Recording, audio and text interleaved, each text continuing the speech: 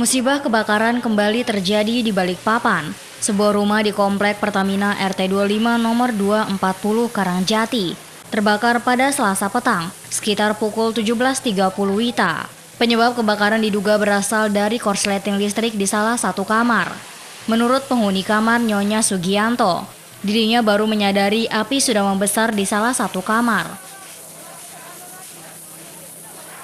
Korsleting bu ya? Iya, perkiraan saya sih. Iya.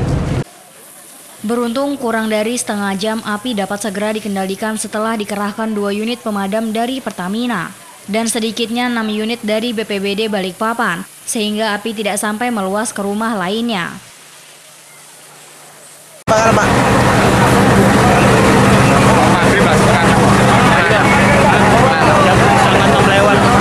Enam.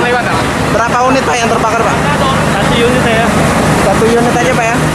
Ini Pertamina menurunkan berapa unit pak pemadam? Dua unit pak unit. Dua unit ya, dibantu dengan Pemkot. Meski begitu, Kapolsek Balikpapan Utara Ajun Komisaris Polisi Sarbini dari hasil penyelidikan sementara petugas belum bisa memastikan penyebab kebakaran dan masih dalam penyelidikan. Tahu aja pas jam 6 kurang seperempat lah ya. Dugaan sementara apa pak? Dugaan sementara. Bisa. Belum ya. Kita berapa rumah pak? Ke mana-mana.